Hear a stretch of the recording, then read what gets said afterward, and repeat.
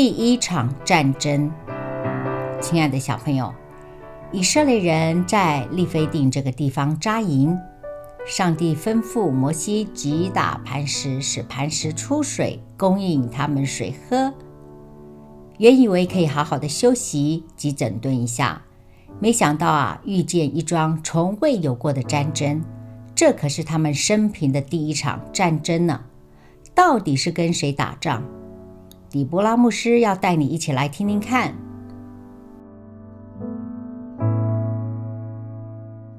在利非定附近有一个族群叫亚玛利，亚玛利人也是属于游牧民族，他们居住在附近的山谷中。不过他们生性好战，你知道好战的人只要遇到一些不如意的事情、不称心的事，就容易以武力来解决事情。当他们看见一大群以色列人在附近扎营，很自然地认为，这群来路不明的人对他们可是个威胁呢。亚玛力人就聚集在利非定这个地方，准备与以色列人征战。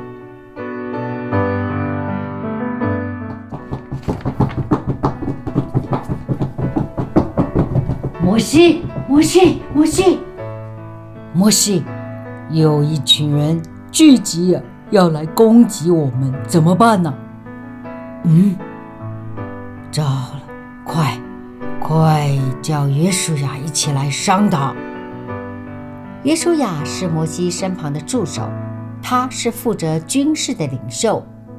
摩西对约书亚说：“外面亚玛利人的军队正磨枪擦掌的来攻击我们，你赶紧为我选出人来。”出去和亚玛利人征战，明天我们准备迎战。好的，我马上聚集当中能打仗的壮士。另外呀，你得带领军队前去迎战的时候，我会带着手里的这根上帝的杖，站在山顶上。亚伦及霍尔。都要上山顶陪我一起，成为你们后面的祷告以及支持。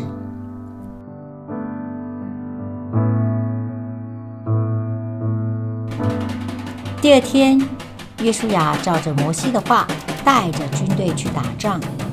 而摩西他们上了山顶观看，照着上帝的启示，摩西把手中的杖高高的举起。就这样，约书亚带着一群从未打过仗的壮士，勇往直前，胜了许多亚玛力人。奇妙的是，当摩西举起手中的杖时，以色列人就连连的得胜。实在举得太久，我的手太累了。摩西呀，我看你把手放下来，休息一下。当摩西垂下他的手以及手中的杖时，以色列的军队就被击倒。摩西只好赶紧又把手举起。上帝借着摩西的手赐力量给以色列人。不过啊，没多久，摩西的手又酸又累，不得不再次的放下来休息。他一休息，上帝的能力又离开了以色列人。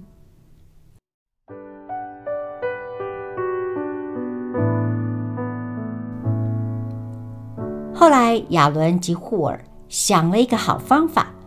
摩西啊，你你撑着吧，我跟户尔去搬个大石头来帮你支撑着。他们首先搬块石头，让摩西可以高高的坐下。然后，亚伦以及户尔紧紧地扶着摩西的手，他们彼此同心协力，一个在这一边，一个在那一边。就这样使他的手可以稳稳地高举起，直到日落的时候。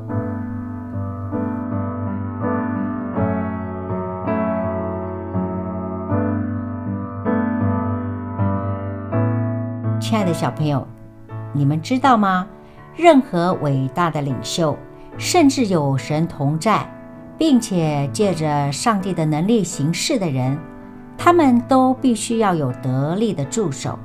这就是要领袖和助手都要明白的，也就是他们必须同心协力。摩西举起双手，亚伦以及霍尔就成了摩西的左右手，或是左手，或是右手，他们都成为他的支持者。上帝才是真正施展能力的源头，一直到日落的时候。这也表明战士站了很久，也表示日落的时候战争就结束了。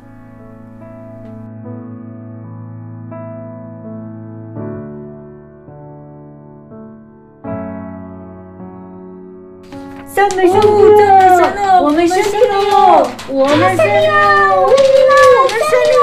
赞美神！啊，我们胜利了！赞美耶和华！我们胜利了！上帝借着英勇的约书亚打了一场美好的仗。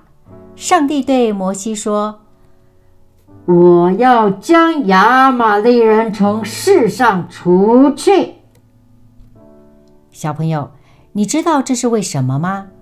因为上帝早就预知亚玛利人是一群好战的民族，在以色列人漂流旷野的时候，常常攻击他们。他们也成了以色列人长久以来的威胁。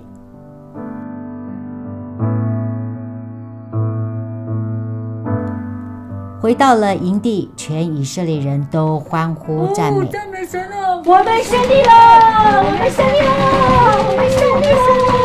赞美上帝啊！阿门！赞美神啊！哈利路亚！”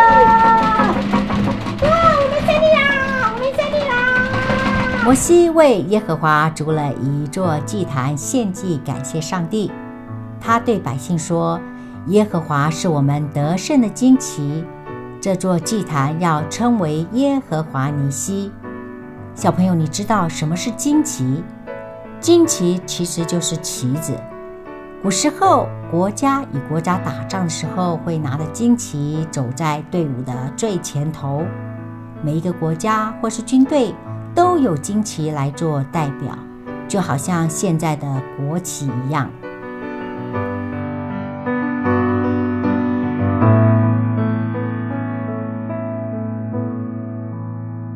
亲爱的小朋友，我们的上帝不但是一位慈爱的主，他更是一位全能的得胜君王。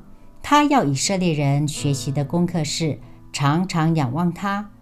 如果以色列人遇到了攻击时，只看那强大的敌军，那么他们必定会软弱以及害怕。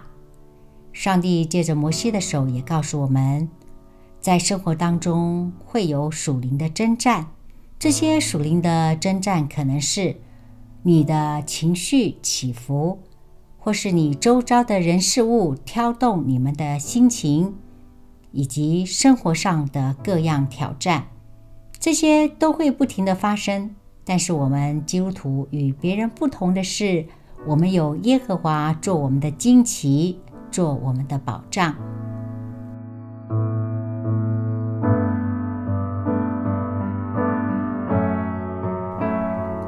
好，小朋友，现在请把你的手合起来，眼睛闭上，跟底波拉牧师一起来祷告。亲爱的天父上帝。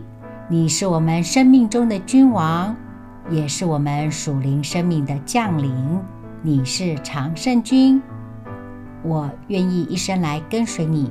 求你成为我生命中的旌旗，愿你来带领我，让我紧紧地跟随你。孩子祈求祷告，乃奉靠主耶稣基督的圣名，阿门。